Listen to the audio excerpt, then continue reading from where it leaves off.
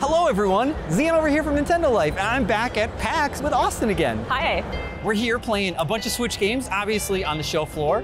Uh, this latest one that we played is a remake of a classic GameCube game, one near and dear to both of our hearts. We played it a lot as kids. Uh, what game was this, Austin? This was Story of Seasons, A Wonderful Life. Some of you may recognize it as Harvest Moon, A Wonderful Life.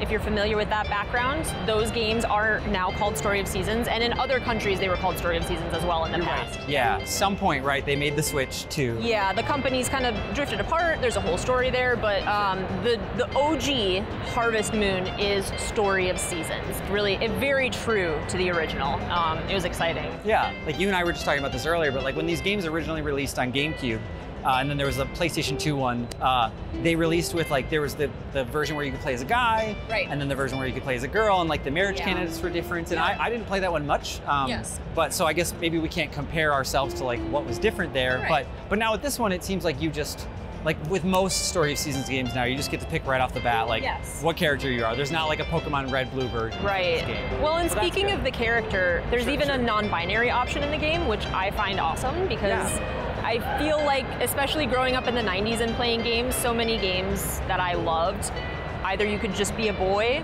or it was just a boy or girl. And now it's 2023, we're just Yeah. allowing everyone to be able to Nice. choose their identity and play as Games- themselves. Yeah. Games just figuring it out. That's Yep. good. Yeah, it's really cool. So one thing that I just went back the other day and played a little bit of the original Another Wonderful Life, so the one where you play as a girl. Yeah. And the graphics, like I felt really cozy and comfy while I was playing it. It felt like even though I played the one, the a regular Wonderful Life, it uh, just like the world is very, um, it's very like tiny but like very detailed still. Um, but the thing I didn't notice was how like kind of drab and like Yes. like dusty almost the original game. Colors, the contrast, Yeah. the it, it was it's a little bit darker. Um, yeah. Yeah, maybe they were trying to go for like a realistic look back then, I guess. probably. But now that's not the case, like with this new remake. Yeah, it's beautiful. Um, they really up the saturation, but in a beautiful way. Um, I think sometimes when games get remade, it can look a little cartoony, um, and they're just throwing crazy colors in there, and it doesn't feel original. Um, this still feels very true to the original game and gives you that same feeling and nostalgia. But it's so much more gorgeous to look at. It's really done well, and there weren't any issues that we could see with pop-in or lag times. Frame rates look great, so it was beautiful. That's a good point too, because we were playing. This was the Switch build of the game as well, which is nice because you know, like that's not always the case. Sometimes we end up playing PC or PS4, but this was the Switch version. so It was that great. It ran well. Um, obviously, we only got to play a little bit of it, but I'm really excited. I can't wait to get my hands on it. And Yeah. I think um, some of the more recent Story of Seasons games maybe haven't been done quite as well as this one. This one has been done very well. It looks very polished from what we could see. Yeah. So these days there are a lot of games like getting remade and remastered all Yep. the time, and it's nice to see that this is. It really feels like a remake. Like everything is being rebuilt, Yes. but still like like the the town, the layout seems the same. Uh, like even like I noticed the you, there are like tricks or like interactions that you can have with your dog. Those you can like You can like, pet the dog. You can. You can pet the dogs. Mhm. But it, it seems like like you said earlier, it feels very faithful. But they also still like went and redid all of like the character designs for like all of the NPCs. Yep, all the Like, animals. They're lot- yeah. they're the same animals, but they're gonna look better.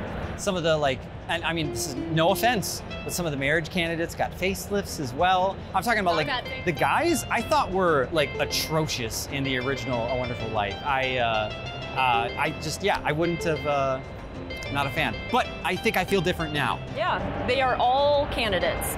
Yep. Yeah. And of course, there are multiple save file slots, just like in the other games, so you can marry all of them. That's something we didn't ask actually, was if there were like uh, same-sex marriages in this game either. Yes. Oh, do, do they? Do they have that? I am almost positive. Okay. Yep. Um, I believe. Well, we didn't get to play enough to be able to confirm, but Yeah, we didn't get married actually in the game yet. We didn't have enough time at PAX to get that far. Oh, but you can watch TV again. They brought the TV back. That was one of my favorite parts. I remember when I was younger playing Harvest Moon Story of Seasons games and watching the different TV channels like the Fortune Teller and the weather. It's back and it's actually TV. You get to zoom in and watch TV. Speaking of zooming in, they also have yeah. a camera mode. Uh, really cool. In the original Wonderful Life game, you could kind of zoom in and look at things close up. But in this version, it appeared, from what we could see, that you can use camera mode, photo mode, and take photos of things close up. And when you look at the detail, That's one of my favorite things You're is totally zooming in on the detail. Yeah, like the character models looked really nice. Like we saw somebody else was playing and they were like having they were in a cutscene or something like Yeah, that. they were taking some And it- nice it looked- portraits. It looked nice. Like yeah, just the the flow of everything and the the framing. It was this like if you. I think it's very fair to say so far. Obviously, we're excited for this. We haven't we haven't played it all yet because we're we're at an event. You know, we can't play play it all. But it seems like if you just want that classic Harvest Moon Story of Seasons Yeah. feeling out of a game, that this this seems like seems like it. Well, and from what I've seen in recent Story of Seasons games, um, they're very faithful and they do have all of the simulation elements that people really enjoy. But I personally have a lot of nostalgia around Story of Seasons Harvest Moon games, and um, sometimes that heartfeltness, that love, isn't always there in the newer games. This game definitely had that element where it made me nostalgic. It made me feel comfy, is a great word for it. When I was playing it, it kind of put me back into my childhood.